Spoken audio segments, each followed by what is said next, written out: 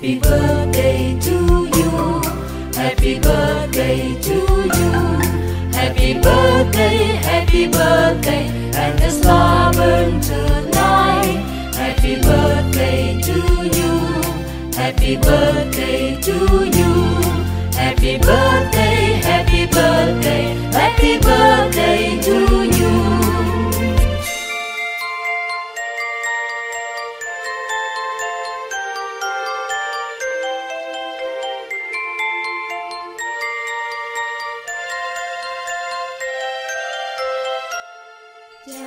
Lúc nãy thầy vừa hỏi các con là ngày sinh nhật mình nghĩ đến điều gì? Thì không chỉ riêng các bạn, mà rất nhiều người hiện nay không biết cái điều rất cơ bản, đó là ngày sinh nhật là chúng ta phải nghĩ đến ngày mà gặp nạn của mẹ, ngày mẹ gặp nạn. Và ngày sinh nhật không phải là ngày để cho mình vui chơi hưởng thụ, mà ngày sinh nhật chính là ngày để cho mình tri ân cha mẹ, đặc biệt là tri ân đến người mẹ của mình đã phải mang nặng đẻ đau mình 9 tháng 10 ngày.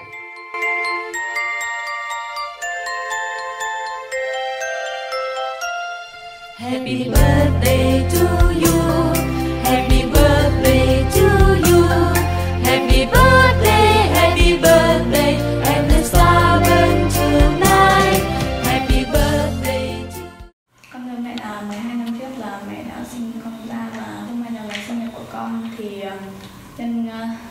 nhân ngày sinh nhật của con thì con chúc mẹ là mạnh khỏe, hạnh phúc. Và luôn là người là mẹ tốt của chúng con. Và và con chúc mẹ là thành thành công trong công việc. Và con mong là mẹ là mẹ người mẹ tuyệt vời nhất của của con.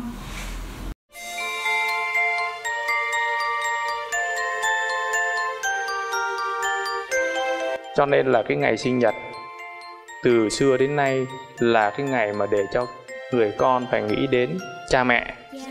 Đó chính là cái suy nghĩ đầu tiên của chúng ta. Chào mừng sinh nhật dễ thương Mừng ngày chúng ta sinh ra đời Cùng vì sao xa tỏa sáng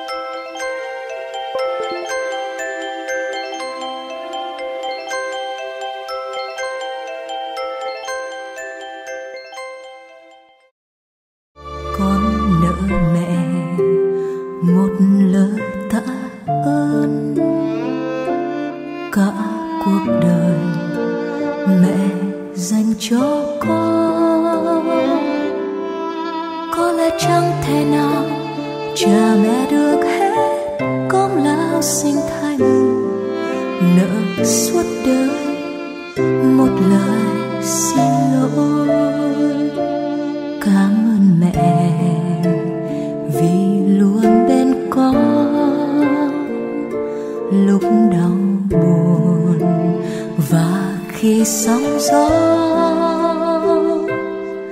Giữa sông tố cuộc đời, vòng tay mẹ chở che khẽ vỗ về bỗng thấy lòng nhẹ nhàng bình yên.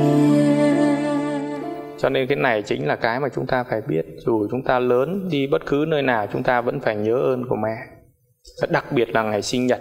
Ngày sinh nhật ngày nay thầy thấy các bạn được bố mẹ cho tiền nhưng là đi ra ngoài à, đi ra ngoài quán để tổ chức ăn uống các thứ nhưng mà chẳng chẳng nói một câu cảm ơn nào đối với mẹ của mình. Đi ra ngoài đường người ta cho mình một cái miếng bánh mì thôi mình cũng cảm ơn họ. Người ta rót cho mình cốc nước mình cũng cảm ơn cơn họ nhưng mà mẹ của mình sinh ra mình nuôi mình cả đời vất vả vì mình mình chẳng bao giờ mình nói lời cảm ơn. Tuổi xuân vì con, mẹ dành những chăm lo tháng ngày. Mẹ dành bao hy sinh để con, chạm lấy ước mơ. Mẹ là ánh sáng của đời con, là vầng trăng khi con lạc lối dẫu đi trọn cả một kiếp người, cũng chẳng hết mấy lời mẹ ru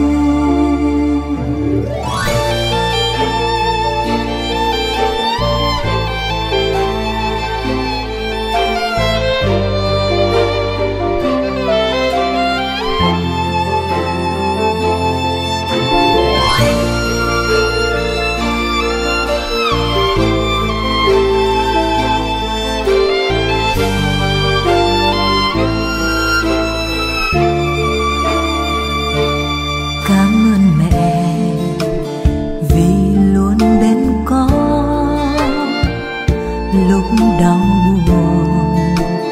Và khi sóng gió giữa dòng phố cuộc đời vòng tay mẹ chở che khẽ vô về. Bỗng thấy lòng đây không phải là lần đầu tiên mà Xuân Mai rửa chân à, cho mẹ. Xuân Mai cũng đã rửa chân cho bố cho mẹ rất là nhiều lần rồi nhưng mà à, lần nào thì mẹ cũng rất là xúc động. Và hôm nay thì à, mẹ có thêm một cái niềm xúc động nữa mà à, khiến mẹ chảy nước mắt. Đó là mẹ nghĩ là Xuân Mai cũng như các con ở đây thật là hạnh phúc khi mà đến ngày sinh nhật của mình các con tri ân mẹ thì các con vẫn còn có mẹ để mà tri ân. Thế còn ví dụ như là mẹ thì nếu như có đến ngày sinh nhật của mẹ mẹ có muốn tri ân mẹ của mẹ tức là bà ngoại của con thì cũng không còn mẹ nữa. Để mà chia ân để mà được chân ơn là cũng lại cái buổi sinh nhật này xuân mai, rửa chân cho mẹ thì mẹ rất là xúc động. Mẹ có thêm một cái niềm xúc động nữa bởi vì mẹ có muốn rửa chân cho bà ngoại thì không có bà ngoại để mà rửa chân nữa. Cho nên là các con, Xuân Mai cũng như là các con ở đây, những bạn nào mà còn bố, còn mẹ thì các con thật sự là rất là hạnh phúc. Các con phải tri ân, các con phải trân quý những cái quãng thời gian đó, các con còn bố, còn mẹ để mà mỗi khi đến cái dịp sinh nhật của mình như thế này. Các con còn có bố, có mẹ để các con còn tri ân.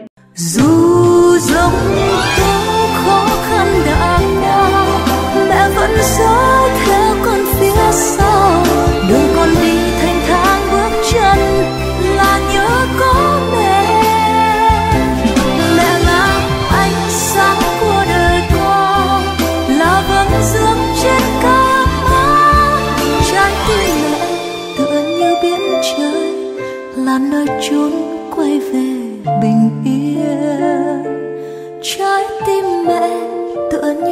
Trái trời là nơi chốn.